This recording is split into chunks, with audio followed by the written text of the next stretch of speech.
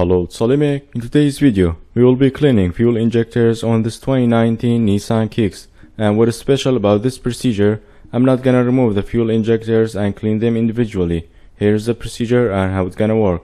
I will be removing fuel line and then connect my DIY adapter and run the car with a can of carb cleaner instead of gas.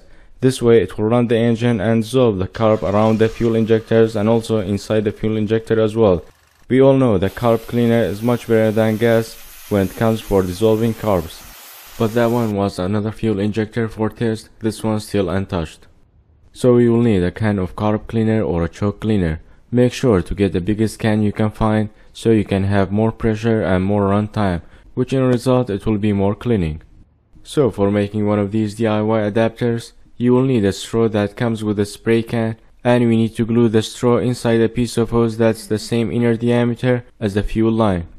The glue I'm using is a CA glue. It comes with a glue and activator and that is what I'm gonna use. A hose clamp will be needed for the other side of the hose so the pressure of the carb cleaner won't push it out.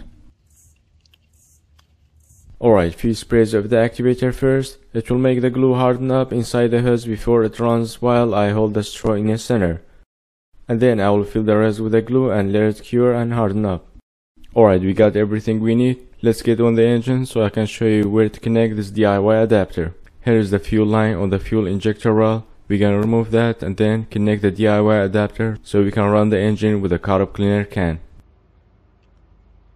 Depending on your car's model, you're gonna have to remove the fuel line. In my case, it doesn't need any special tool, just a flat screwdriver and then it pops out. And if you leave your car over the night, you're not gonna have any fuel pressure. Otherwise, you need to pull the fuel pump fuse and crank the engine.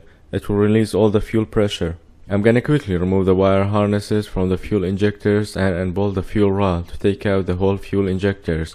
Just to show you the condition of the fuel injectors, you don't have to remove the fuel injectors like me here I'm just doing that to show you before and after videos so you can see this method works. I always use this plier or a magnet for taking out the bolts so I don't lose any.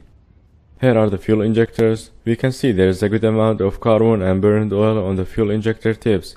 Now we're gonna put it back just like how it is and then do our procedure. And after the procedure we're gonna take it out and see if it can clean all that carbon and burned oil on the fuel injector tips. Now let's get back to the fuel rod inserting the DIY adapter, the one I showed you previously how to make it, and then clamp it down. The next step is to disable fuel pump from running and pumping gas. You can either disconnect the wire harness like me or pull the fuel pump fuse out. The reason I pull the wire harness out so I can show you when the car is running on a carb cleaner and the wire harness is removed. But remember, for some cars when you pull the fuel pump fuse out, the engine not gonna run because the same fuse is responsible for some electronics of the engine. Alright, the fuel pump is disconnected. Here is the DIY adapter on the fuel rod and here's the fuel line. We're gonna it here.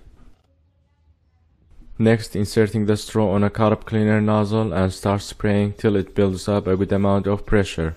And then we're gonna start up the engine.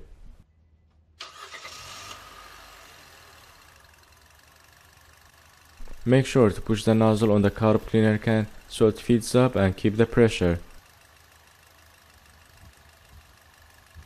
Here is the fuel pump wire harness disconnected and the engine still running.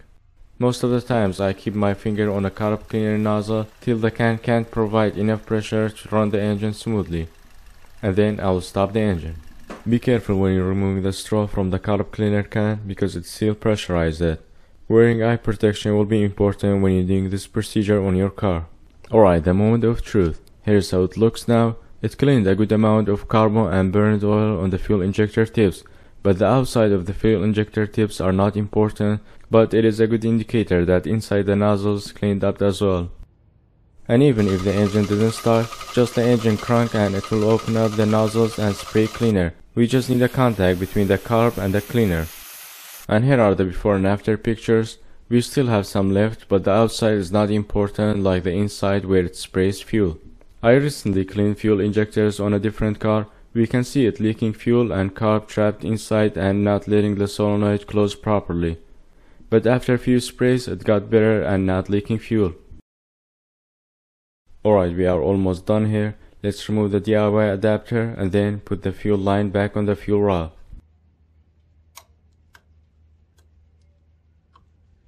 Next fuel pump wire harness and closing the lid. Now we can put the seat back on. Alright, we are done here. Let's start the engine. You might experience a late startup because the fuel line is not pressurized. Till it pressurizes, it will take some time, but you will have that only the first time. I previously cleaned my Toyota Camry's fuel injectors without removing with using Autools C100 kit canister. With this one you will fill the canister with a cleaner and use shop air to pressurize the system. But with a carb cleaner, it's already a cleaner and pressurized, so it's the same procedure but on a budget. And that was how to clean fuel injectors without removing with using a can of carb cleaner. I'll make sure to put some links in the video description box below for related videos. Hope you guys found the video useful and learned something new. If it was, like and subscribe if you haven't already and I will see you in the next one. Bye for now.